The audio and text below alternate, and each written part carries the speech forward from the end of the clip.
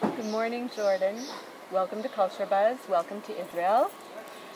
Can you tell us a bit about yourself? What brings you here? Where you come from? What you do? Sure. Um, well, I'm here for a uh, exhibition. There's an exhibition of my work that's going to be at the, a gallery in Tel Aviv Rothschild Fine Art, and I'm also here to teach a workshop, a painting workshop in Jerusalem. So there's a group here that's uh, for about five days.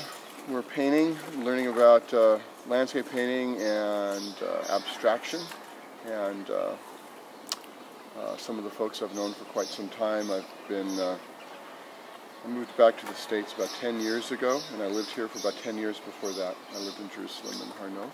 Not Har Nof. Nataf. In Nataf. The Nataf. So you lived here for a while, and I know you mentioned your father was Israeli as well. Mm-hmm. Can you tell us a bit about how your experience living here or stories from your father might have impacted on your life, on your work, how maybe the cultural exchange here and working here differs from living and working in the States? Uh, well, let's see. Uh, when I came here in 92, I had been out of grad school for about a year, and I was uh, putting my work together. You know, it was after grad school it was a time of uh, thinking about or just working, finding my way with my work, and um,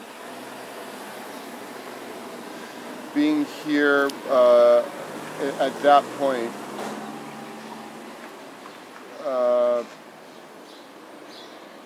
made a significant difference in the development of my work. Um, so? the uh, the atmosphere here, the light, the uh, the energy uh, is very different than anything I could find in the states. It's um, so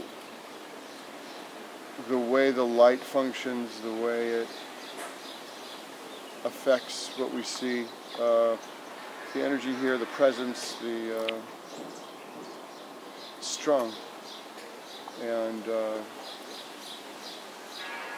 so that the way I developed as a painter was in relation not just to my own work with myself or my own history, but what's what I found here that it affected the way I made a painting.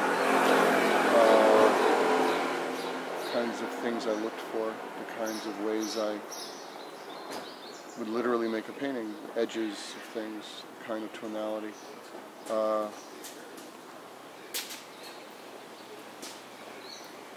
and how about if we widen the scope out of the uh, the formal um, work of painting in terms of interactions with people, the way of uh, approaching both work and life here as opposed to uh, back home.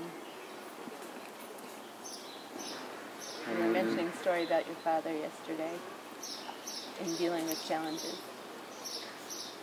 Oh, yeah. Well, that was, that was I don't know. Uh-huh. about- No, I don't like Isn't it? All right, so one final question.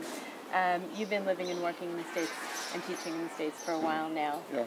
Uh, after this trip of teaching and showing, what would you say you're going to bring back with you that might feed your creativity or that will stay with you when you're working in the States from your experience here?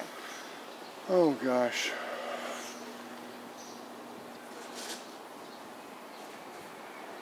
Look, there's something here, and it's not there.